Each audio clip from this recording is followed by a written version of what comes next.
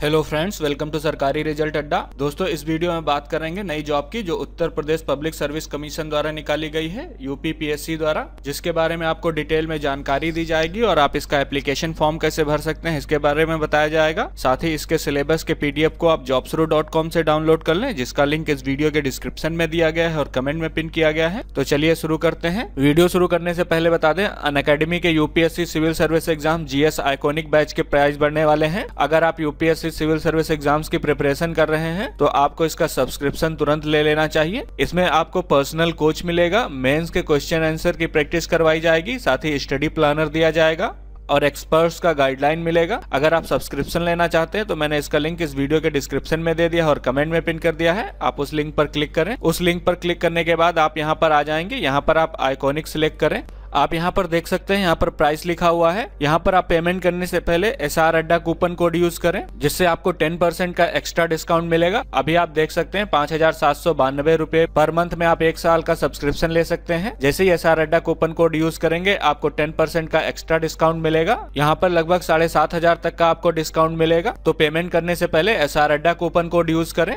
सबसे पहले बात करेंगे पोस्ट नेम की। तो इसमें दो ग्रुप की पोस्ट हैं ग्रुप ए और ग्रुप बी सबसे पहले बात करते हैं ग्रुप ए की तो इसमें district horticulture officer group two grade one की पोस्ट है और प्रिंसिपल की पोस्ट है, जो कि government food science training centre या फ़ूड प्रोसेसिंग ऑफिसर की पोस्ट है।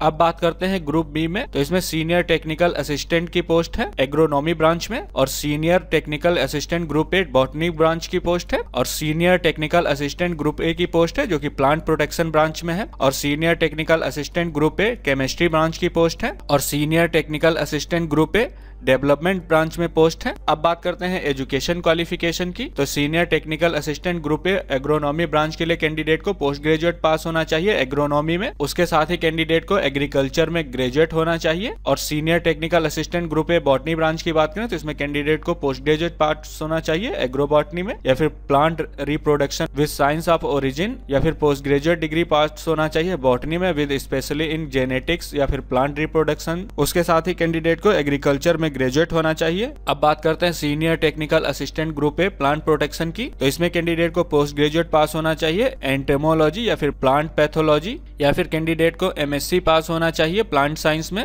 विद स्पेशलाइजेशन इन एंटोमोलॉजी या फिर प्लांट टेक्नोलॉजी अगली पोस्ट जो senior assistant group A chemistry branch की है। इसमें कैंडिडेट को पोस्ट ग्रेजुएट पास होना चाहिए एग्रीकल्चर केमिस्ट्री में सॉइल साइंस में या फिर सॉइल कंजर्वेशन में। अब बात करते हैं नेक्स्ट पोस्ट की जो senior technical assistant group A development branch की है। इसके लिए कैंडिडेट को पोस्ट ग्रेजुएट पास होना चाहिए या फिर कैंडिडेट को एग्रीकल्चर में ग्रेजुएट होना चाहिए। अब बात करते हैं एज लिमिट की। तो कैंडिडेट की एज जो है 21 साल से 40 साल के बीच में होनी चाहिए। एज आपकी 1 जुलाई 2020 से कैलकुलेट की जाएगी।